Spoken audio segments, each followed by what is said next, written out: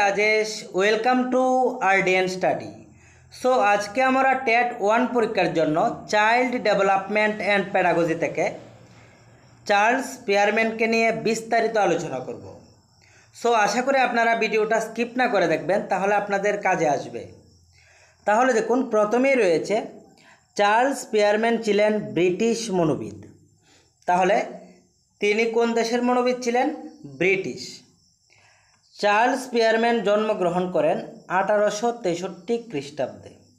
তবে child development and প্যাডাগজির মধ্যে মানে যে বিভিন্ন মনোবিদ রয়েছেন, তাদের যে জন্মসাল, এটা আসে না। তবে আমাদের জেনে রাখা দরকার, কারণ পরীক্ষার মধ্যে আসতেই পারে। তারপর দেখুন, চার্লস পিয়ারম্যান বুদ্ধির তথ্য ব্যাখ্যা করেন, আমেরিকান জার্নাল অফ সাইকোলজিতে। তাহলে, চার্লস পিয়ারম্যান তিনি যে বুদ্ধির তথ্যটা দিয়েছিলেন সেই তথ্যটা ব্যাখ্যা করেছিলেন আমেরিকান জার্নাল অফ সাইকোলজিতে। তারপর দেখুন। চার্লস পিয়ারম্যান বুদ্ধি সম্পর্কিত তথ্যটির নাম হলো মানে চার্লস পিয়ারম্যান যে বুদ্ধি সম্পর্কিত তথ্য দিয়েছিলেন, এটা হচ্ছে দ্বি উপাদান তত্ত্ব মানে টু ফ্যাক্টর থিওরি। মনে রাখবেন, নামটা কি? নামটা হচ্ছে টু ফ্যাক্টর থিওরি। চার্লস পিয়ারম্যানের মতে বুদ্ধির দুটি উপাদান রয়েছে। তাহলে চার্লস পিয়ারম্যানের মতে বুদ্ধির কয়টি উপাদান আছে? দুটি। তার জন্যই টু ফ্যাক্টর থিওরি। বুদ্ধির দুটি উপাদান হলো সাধারণ মানসিক ক্ষমতা এবং বিশেষ ক্ষমতা। তো সাধারণ যেটা, এটা হচ্ছে জেনারেল, তাহলে একটা হচ্ছে জেনারেল এবং আরেকটা হচ্ছে কি এস। ঠিক আছে? জেনারেল আর স্পেসিফিক। মনে থাকবে? তো তিনি কি বলেছিলেন? জেনারেল আর স্পেসিফিক। তাহলে দেখুন, সাধারণ মানসিক ক্ষমতা কি?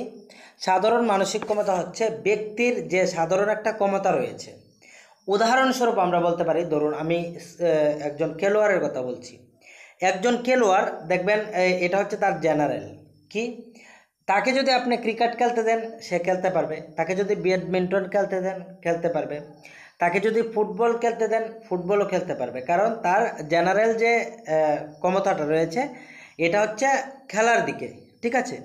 আর স্পেসিফিক কি স্পেসিফিক এখন আমি একটা উদাহরণ দিই, যদি আমি বিরাট কোহলির উদাহরণ নিই। বিরাট কোহলিকে আপনি ফুটবল খেলতে দেন, খেলতে পারবে। ক্রিকেট দেন, খেলতে পারবে। তারপর ব্যাডমিন্টন দেন, খেলতে পারবে। কারণ তার শারীরিক গঠন, সে মানে একজন খেলোয়াড়। কিন্তু তার স্পেশাল এবিলিটি কি? স্পেশাল এবিলিটি হচ্ছে ক্রিকেট খেলা। সে ক্রিকেটটা ভালো খেলতে পারবে। তাহলে স্পেশালটা কি? স্পেশালটা হচ্ছে ক্রিকেট খেলা। তাহলে স্পেশালটার কিন্তু উন্নতি করা যায় আর জেনারেলটা একটু আগে থেকেই ভালো থাকতে হবে। বা আমরা যদি কোনো ফুটবলারের কথা বলি, ধরুন মেসির কথা বললাম। মেসিকে আপনি যে খেলায় আপনি দেন না কেন, সে এক দুই দিন প্র্যাকটিস করলে খেলতে পারবে। তো এটা তার জেনারেল এবিলিটি কিন্তু ফুটবলটা তার জন্য স্পেসিফিক ঠিক আছে, বা একজন শিল্পীর কথা বলুন। হ্যাঁ বিভিন্ন ধরনের গান আছে। গানের নামগুলো তো আমি জানি না। তো গান গাইতে পারবে দিলে, কিন্তু একদিকে তার স্পেশালিটি থাকবে। হ্যাঁ যেমন ধরুন একজন শিক্ষকের কথা বলুন, শিক্ষকতা হচ্ছে জেনারেল কিন্তু দেখবেন একজন ম্যাথের টিচার তার স্পেসিফিকটা কি? এটা হচ্ছে ম্যাথমেটিক্স ঠিক আছে? তো আশা করি আপনারা বুঝতে পেরেছেন। তো চার্লস পেয়ারম্যান কি বলেছেন? বুদ্ধির দুটি উপাদান, একটি হচ্ছে সাধারণ মানসিক ক্ষমতা আর একটা হচ্ছে বিশেষ মানসিক ক্ষমতা। সাধারণ মানে জেনারেল আর বিশেষ মানে হচ্ছে স্পেসিফিক তাহলে জি আর এস এর কথা বলেছেন চার্লস পেয়ারম্যান নেক্সট এখানে দেখুন, সাধারণ মানসিক ক্ষমতার বৈশিষ্ট্য। এটি সার্বজনীন এবং বংশগত। তাহলে সাধারণ মানসিক ক্ষমতাটা হচ্ছে সার্বজনীন, সবার কাছে সাধারণ থাকে হ্যাঁ এবং এটা বংশগত থাকে। ঠিক আছে? জন্ম, জন্মসূত্রে এটা পেয়ে থাকে। যেমন যাদের গানের সুর রয়েছে, শিল্পী জন্মগতভাবে পেয়ে এসেছে। আমাকে যদি বলুন গান করার কথা, আমি গান গাইতে পারব না। মানে গাইতে পারব, সেইভাবে গাইতে পারব না, শিল্পীরা যেভাবে গাইবে। একজন ব্যক্তির মধ্যে এটি ধ্রুবক অবস্থায় থাকে।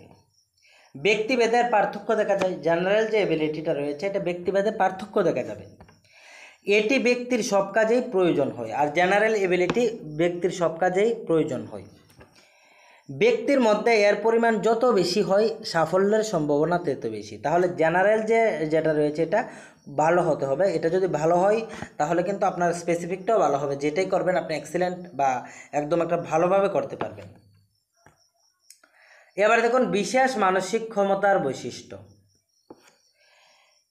এগুলি প্রধানত অর্জিত। যেমন বিরাট কোহলির উদাহরণ দিয়েছিলাম, তার স্পোর্ট মানে তাকে সে মানে খেলতে সে পারবে, তার শারীরিক গঠনটা এইভাবে। কিন্তু দেখুন ক্রিকেট খেলাটা সে ধীরে ধীরে অর্জন করেছে মানে তার যে স্পেসিফিকটা ব্যক্তির প্রতিটি কাজে পৃথক পৃথক বিশেষ শক্তির প্রয়োজন হয় এবং প্রত্যেকটি কাজের জন্য এক একটা বিশেষ ক্ষমতার প্রয়োজন হয়।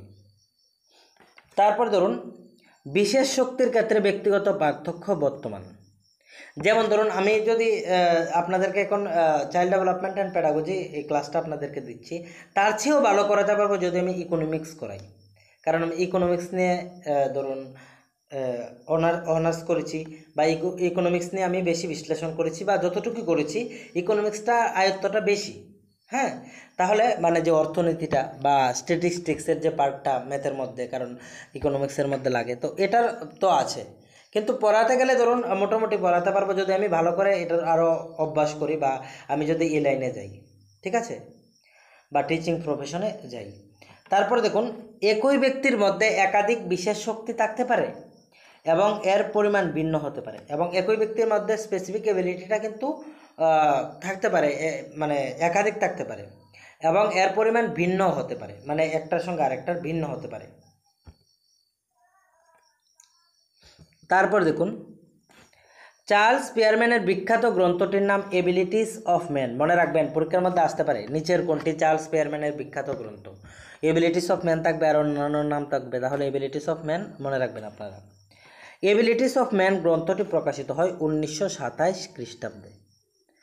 তারপর দেখুন, এখন প্রশ্নোত্তর আমরা আলোচনা করব, তবে তার আগে একটি বিষয় বলে রাখি, যারা টেট ওয়ান পরীক্ষার নোট নিতে চান নোটগুলো তৈরি হচ্ছে, কিছুদিনের মধ্যে আপনাদেরকে নোটগুলো প্রোভাইড করা হবে। তার মধ্যে আজকে রাতে হয়তো বা আমি একটা নোট মানে কীভাবে তৈরি করা হয়েছে দেখাতে পারি এবং বিভিন্ন সাবজেক্টের ধীরে ধীরে আপনাদেরকে আগে দেখিয়ে দেবো। তাহলে দেখুন, প্রশ্নোত্তরে যে আলোচনা করছি, প্রথম দেখুন, চার্লস পিয়ারম্যান ছিলেন একজন মনোবিজ্ঞানী, মনে রাখবেন। চার্লস পিয়ারম্যান কোন দেশের মনোবিজ্ঞানী ছিলেন? ব্রিটিশ মনোবিজ্ঞানী, একটু আগে আলোচনা করেছি। চার্লস পিয়ারম্যান জন্মগ্রহণ করেন আঠারোশো তেষট্টি খ্রিস্টাব্দে।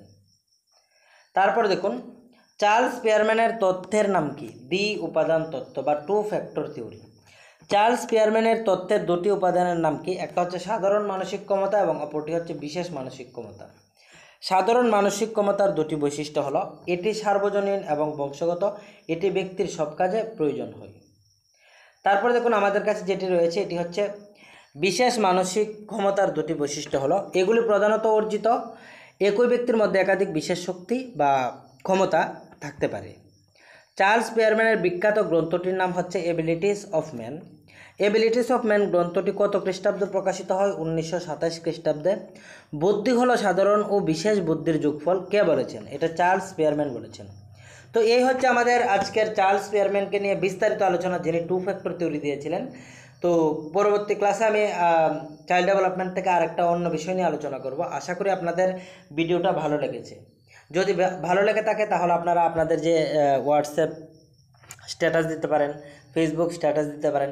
বিভিন্ন ফেসবুক যে আমাদের ত্রিপুরা রাজ্যের টেটের যে বিভিন্ন গ্রুপগুলো রয়েছে, এই গ্রুপের মধ্যে আপনারা শেয়ার করতে পারেন। তাহলে আশা করি ডিএন স্টাডি চ্যানেলটা আরও অনেকের কাছে যাবে, তারা দেখতে পারবে এবং তাদের কাজে আসতে পারে। So stay with RDN study and get success